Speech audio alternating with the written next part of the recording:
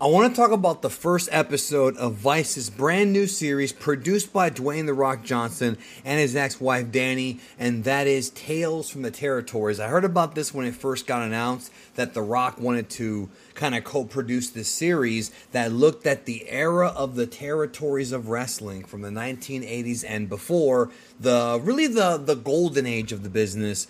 And a, much different time period than what we have now. Before internet, before social media, before a lot of technological connections that came through, you had the different territories and the different parts of the world with their local televisions and some crazy stories. And if you know anything about the business, or if you listen to my podcast, the K Fabulous Lucha Brothers Wrestling Show, which by the way is currently on break because Brandon Draven is doing a bunch of movie podcasts this month, horror podcasts. So we'll be back in November for sure. But uh, if you listen to my podcast, we talk a lot about the territorial era, and now we finally have a cool show to talk about it. So this show is produced by Vice, the same company that did Dark Side of the Ring, and the first episode is on right now on YouTube, featuring uh, Jerry Lawler, Jerry Jarrett, Jeff Jarrett, um, Jimmy Hart, and I believe Dutch Mantell, and they're talking about Memphis, one of the wackiest, most goofiest but also awesome territories ever, covering the Tennessee area and a little bit of um, Indiana, not too much of it, a little bit of Kentucky, but that's the territory that birthed the King Jerry Lawler, and that's why he is the King of Memphis, as he was the top guy there for a long time. So the way this show is structured is a bit different than Vice's Dark Side of the Ring, even though there are similarities. I mean, it's very similar. The only real thing is that Dark Side of the Ring focused on a lot of the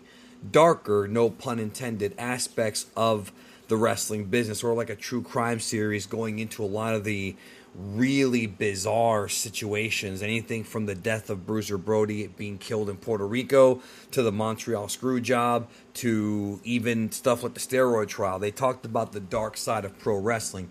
Tales of the Territories is not really that it is a bit more lighthearted in that it talks about the olden days, and there are certainly dark things that happen there, but there's also a lot of funny things that happen. And the show is super entertaining, mostly because of the people who they got to do it. You know, this Memphis episode was awesome because they were telling stories going all the way back to when Jerry Jarrett was wrestling of not only the crazed fans that would attack them, that would jump the rail to attack them because people thought the business was real in those days. There were people back in the day and you could make the argument they had mental illnesses. It's up to you to really determine that. Um, it's t- it's hard to say, but Memphis tried for a long time to make everything look real, and so there were people in that area who thought wrestling was real, and to the point where they would jump the rail and attack the bad guys, the heels. They would um, commit, you know, crimes on the bad guys' property, like destroy their cars, throw bricks at them, like doing all kinds of stuff. And um, it was a different era. I mean, nowadays, everybody not only knows that the businesses they work, but they know how everything is pretty much worked. Like it's it's not a secret anymore. You know, it's like magic. These things are not a secret anymore.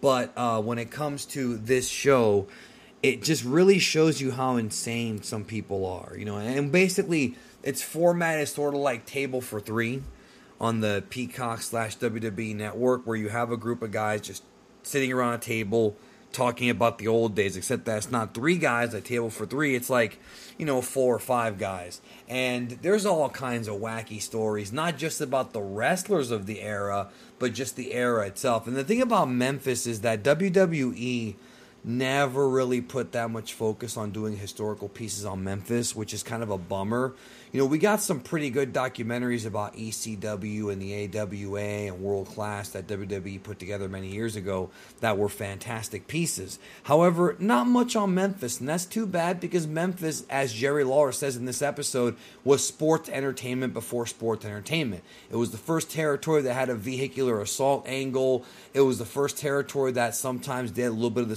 supernatural stuff, um, some over the top shenanigans crazy characters. You know, they talked about Jos LeDuc, the dude who literally on television took an axe and started slicing his forearm to show how tough he is. Like, this is crazy stuff, you know, nutty stuff about how fans would get so caught up in the storylines that they would call into the Memphis station and threaten to go to the studio and murder a wrestler. Literally, there's a story in here about the Iron Sheik cutting a promo right when there was the Iranian conflict when the when the plane went down, the U.S. plane went down, and one of the people watching it, one of the fans watching it from home in Memphis, was somebody who was related to someone who died in that plane attack a helicopter attack. I thought it was a plane or a helicopter, and they threatened to go to the building and kill the Iron Sheik and Jimmy Hart.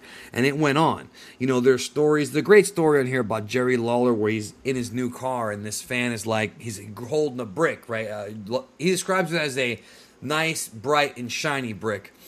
And uh, he's like, buddy, if you and Lawler walks up to his car and he's like, buddy, if you hit my, my car with that brick, I'm gonna run you over and kill you. And he was serious. I mean, again, this is one of those things where you really have to understand this era. This is like the 60s, 70s, and 80s.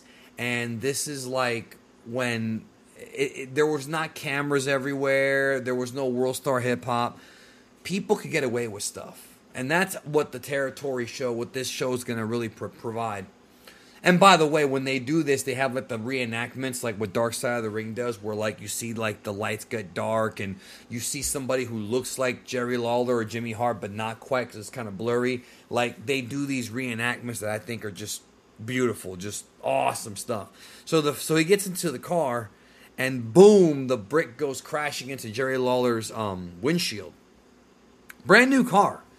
And so Lawler pushes down the accelerator as fast as he can, but the car doesn't move. It just kind of rumbles a little bit. He goes outside and sees that all four of his tires were already slashed.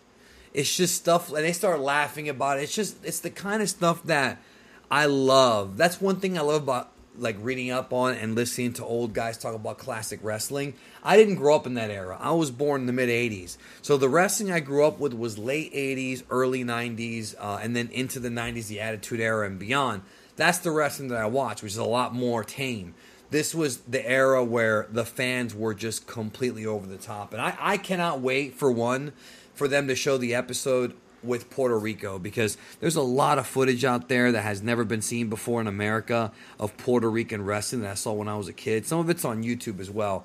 And Puerto Rico and the Puerto Rican wrestling is insane. Same thing with like I want to see the world class stuff too because obviously we've had so many documentaries on world class, but there's still a lot of stories that have never been told, and I'm curious about that. I'm curious about if they go into Georgia with Ole Anderson. Like I am excited for this series. You know, Dwayne the Rock Johnson hosts it, or at least he hosts the beginning part of it, and uh, he is the producer. So it just goes to show that The Rock, even though he's the biggest movie star in the world, Black Adam's coming out right around the corner.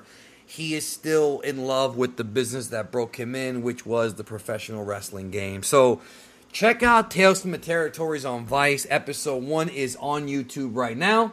It's getting a glorious thumbs up from me. Go watch it. Take care. And let me know what you think about it down below. Subscribe if you're new. Talk to you soon.